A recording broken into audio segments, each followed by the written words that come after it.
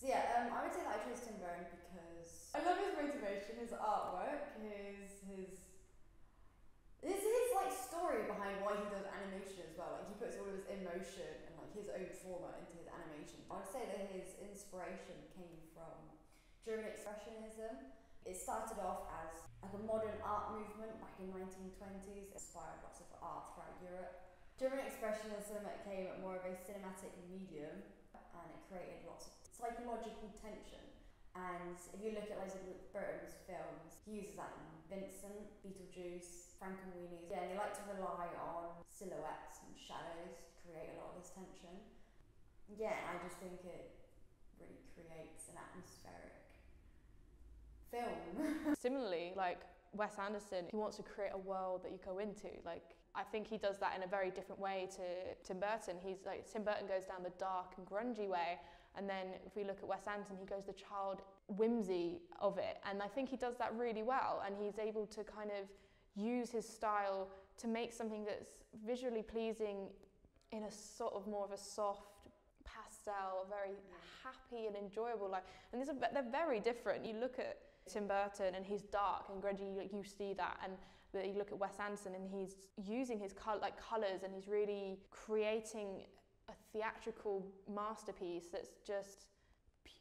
The fact that he puts so much effort into his mise en scene and his design, it's effective at what it does. It draws you in. It's so deep and there's so much to it that you just get absorbed into the movie even if you don't get it, yeah. you know?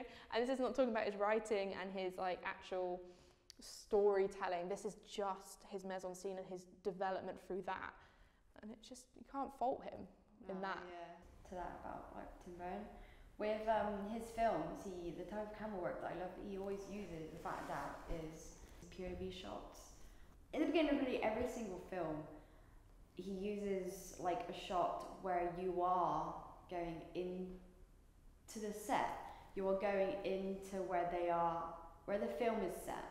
Um, for example, with Nightmare Before Christmas, you are going, you, you, you start off going through the forest, then you go into this circle of trees and you go down the Halloween tree and then you come out and you go through this town and you go through the main gates of Halloween Town. Um, and it's just a great way of bringing you into the film. Mm. Um, it's a great, great way to start it and to put you on the level of of the characters. Wes Anderson does a similar thing, but with either stop motion or with like putting you into like the story. Like you'll get a book out and the book will kind of and he, he uses this sort of like tag team storytelling. Sorry, so great example is Grand Budapest Hotel, at the beginning of that. So there's like one, two, three, four, four different like so it's like a recount, a recount, a recount. Yeah. So when you get to zero, who is the person that's telling the story, you're not hearing it from his perspective. You're hearing it from someone else's perspective. From his perspective, so you're so it's kind of like layers. So when you actually actually get into the film, he uses that technique of getting the audience into it through this way of storytelling to allow him to be able to create such a big, vast mm. space to then kind of paint the walls the color he wants and make it because it's not real. It's it's some in someone's head. It's a story, and like I think on style and design as a whole, Wes Anderson just sort of has a hold on it. He uses stop motion for his stunts, for his like big, um, big buildings. He uses it like to add animals. Ski chase scene in Grand Budapest Hotel where it's a stop motion or like it's a animated and it's all done with like little mini props and sets and he just like and the guy you know the the little ski guy goes yeah. Instead of like just oh just just CG it, CG it or, or green green screening like we're doing. Like he uh, you know made the time and put the effort into doing this, and like his crew is just incredible for doing that and actually putting that extra detail in, going that extra mile in those scenes. And, and then obviously his actual films that he has stop motion animated, he used real animal hair yeah. to give texture to them. So there was like fingerprints on it, so you could tell that it was being animated instead of it being synthetic hair where it would stay in the place that it was so it looked more realistic. It's the same with it's like he does stop motion, he does live action, and like no matter what kind of way he does it, he is capable of taking his same style. I still think it's amazing how he puts all of his childhood trauma into a movie and still make it as like a Christmas and Halloween film, like Night Before Christmas, is made. He, he made it based on his childhood trauma and his childhood upbringing in California, and that was, and he still made this film to be one of the biggest Christmas get Halloween films in history. And I think it's amazing how he can do that. But then he can also make things like Pee Wee's Big Adventure, and like that's just fun and colourful Mm. and bright and clumsy. But yeah, I still think it's great, and he still brings a tw- like a 1920s style. He still brings to this day and age, and he still makes it good, and he still makes it interesting. And yeah, I think he's great in how he does it.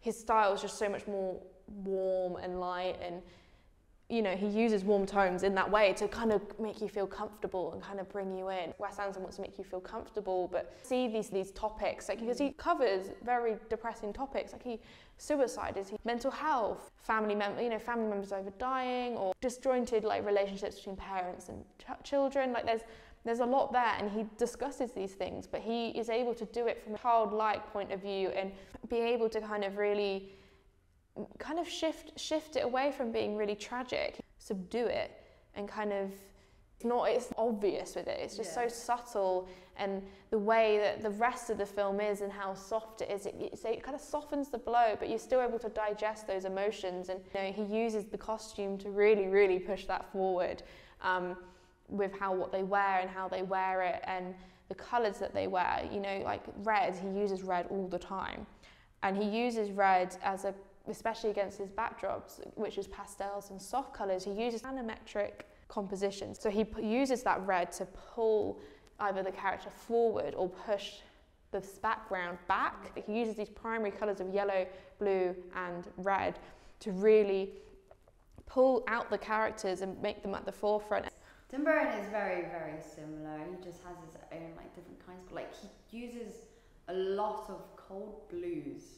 Like it's not even black and white or different shades of black. it, it's cold blues. That's like the scene in Beetlejuice when they're going through the corridor. That's cold blue. Um, but then talking about like death and that, it's it's Frankenweenie that got me the most, and it was how this little boy, and I think he did it on when he was younger and he had a dog. So it was based on his childhood trauma yet again. And it's had these two, you know, this little boy and this dog. And, you know, they're best friends as every little other boy is. His dog gets run over by accident and he goes through so much grief. And he's like, you know what, I'm I'm a science nerd, I miss my dog, I'm gonna bring him back to life.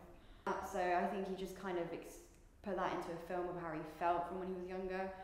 It's in Beetlejuice. It's not as traumatic. It's not as exaggerated. It's just oh look, we're dead now.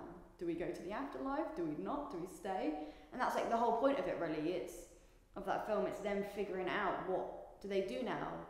And it's like you wonder, like, is that what it, it's really like? It's just a waiting room where to go, and it's it's it's really interesting because no one ever really thinks of that's what the afterlife is. Like, and yeah, I just think it's how he inter- interprets that is uh, very interesting and very unique.